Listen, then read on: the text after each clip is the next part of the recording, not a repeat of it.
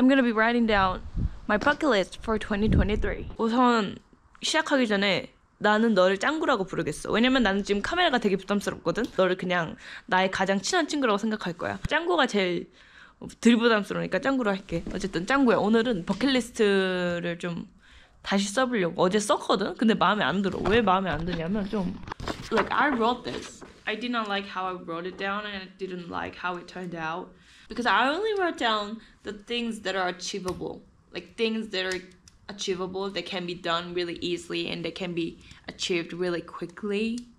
You see what I mean? Writing down the bucket list kind of made me realize how important coming out of your comfort zone is.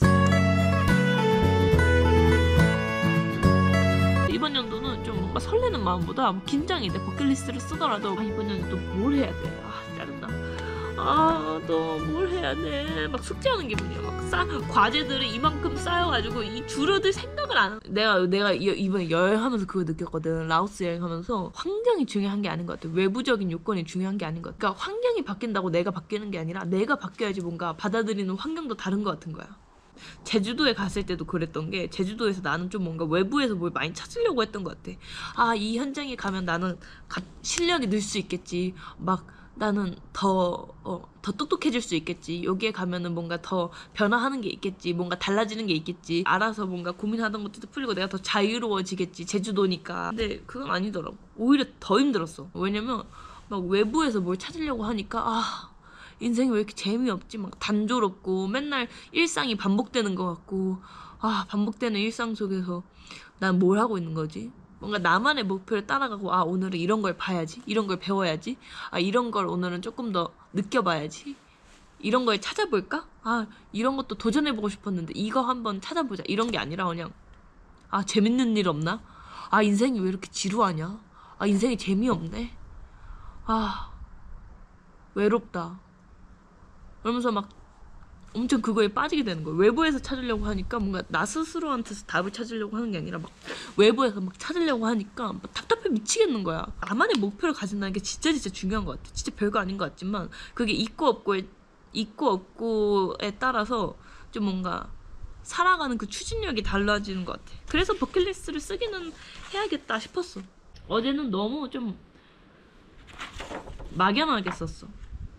뭔가 딱 내가 해오던 반경에서만 아 이 정도면은 이룰 수 있지 하면서. 그러니까 실패하지 않을 만한 것들만 적었더라고 내가. 나 스스로를 위해서 도전하고 싶은 것들 좀 적으려고. 동아리 활동을까지 했고. 아 그리고 용접 기술 나는 배워볼 거야. 사실 용접 기술 배우기 나는 이거 안 적고 싶었다. 머릿속에 분명히 있어. 아 이거 도전해봐야 되는데. 아 하기 싫어 왜냐면 뭔가를 새로 배우려면 시간도 많이 들고 귀찮고 돈이 많이 들잖아. 여기 또 공간도 없고 아 복잡해 귀찮아 하기 싫어. 이래서 안 써서 사실.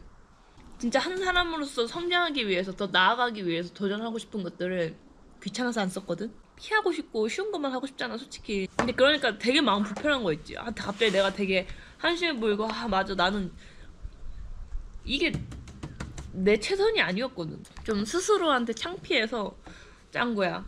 그래서 내가 다시 써보기로 한 거야. 시간도 돈도 많이 들지. 근데 이렇게 버킷리스트를 써놓잖아? 그러면은 이걸 내가 버킷리스트를 이루기 위해서라도 아르바이트를 하든 일을 하든 돈을 모으게 되고 그 조그만 짜투리 시간이라도 좀 활용하려고 시간을 더 잘 쓰게 된단 말이지.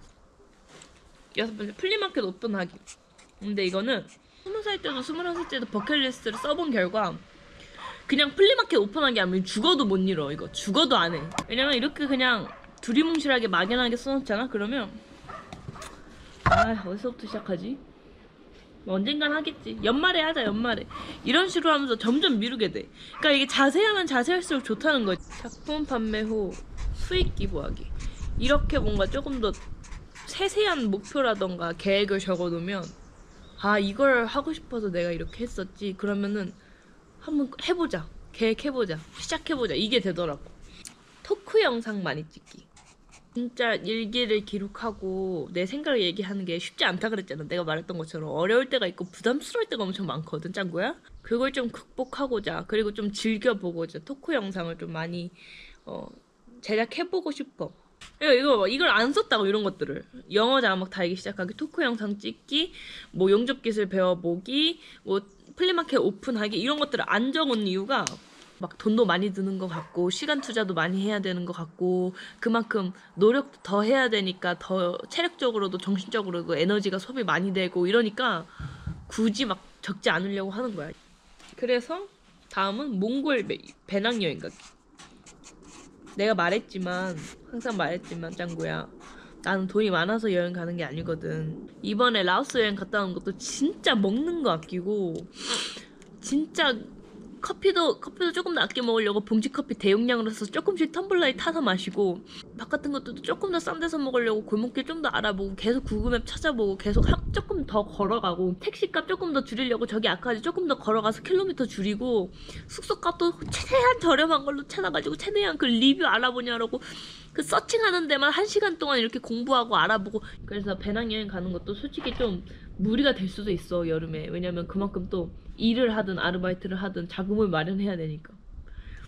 그래서 안 적고 싶기도 했어 사실. 그냥 다음에 여행 다음에 이렇게 하려 했는데 그럼 끝도 없으니까. 그리고 열 번째는 토익 950점 이상 맞기.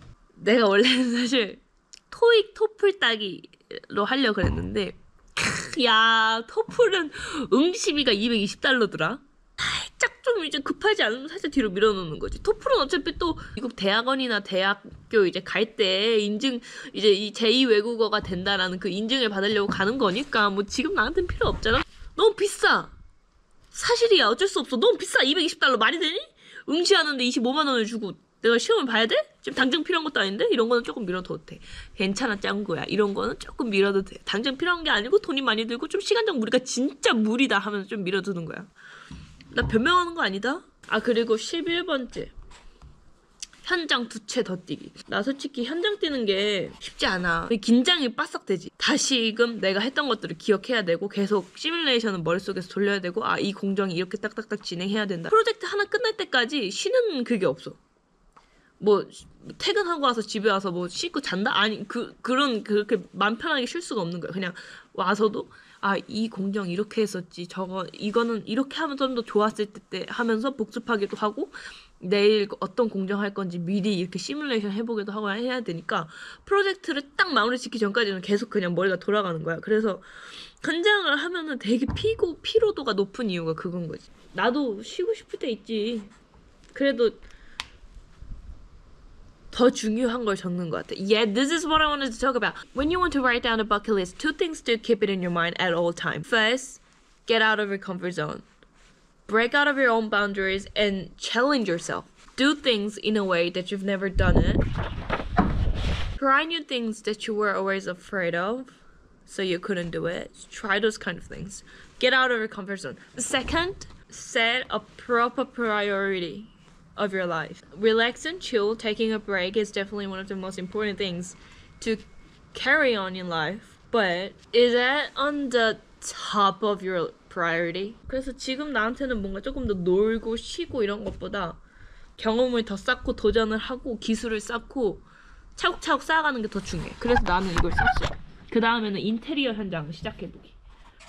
그래 짱구 너한테 내가 제일 말해주고 싶었어. 왜냐면 너한테 말해주면서 나한테도 다시 이렇게 좀 remind myself 하고 싶었는데 그게 getting out of your comfort zone is one of the most difficult and uncomfortable thing to do, but is one of the most effective way of upgrading yourself. Setting your own priorities is really, really, really, really, really extremely severely important. 내가 또 21살, 20살 때, 21살 때 항상 일 첫 번째로 적었지만 못 이뤘던 게 있어. 연애하기. 왜 그런지 모르겠는데 안 이루어졌거든? 짱구 너 웃었어? 내가 만만해?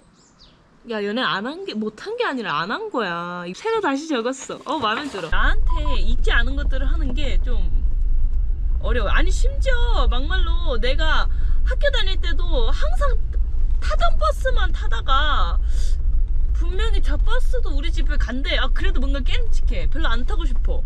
어, 그냥 어, 나 그냥 맨날 타던 150번 탈 거야. 왜 저 뭐야 저거. 아니 하다못해 어, 그 버스 하나 가지고도 그렇게 하는데 뭔가 인생에 있어서 도전을 새로운 거를 그냥 도전한다? 쉽게 되지는 않지. 뭐 항상 가던 길에서 다른 길로 간다든지. 항상 길을 잘 모르니까 괜히 길 잘못 들고 괜히 사고 날까봐 한 번 다른 길을 가보니까 아 내가 뭐 때문에 그렇게 무서워했지 하는 그런 가소로움이 좀 생겼어.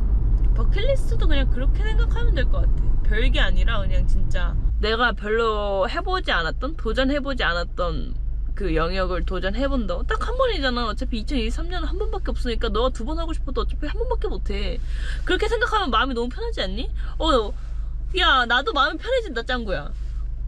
어차피 어, 야, 마음이 너무 편해진다. 정신 승리. 2023년은 한 번밖에 없으니까. 22살에 너는 이, 이, 이번 연도밖에 없으니까. 아쉬워도 돌아오지 않아. 어차피 한 번밖에 못해. 그러니까 한 번만 해봐. 그 한 번을 하고 나면 되게 익숙해지고 가소로워질 거야. 그러면은 이제 내년에 버킷리스트도 더 쉬워지는 거지. 아, 이것도 했는데 이거라고 못하겠어? 별거 있겠어. 그래서 짱구 너는 이번 연도에 뭐 하고 싶은데?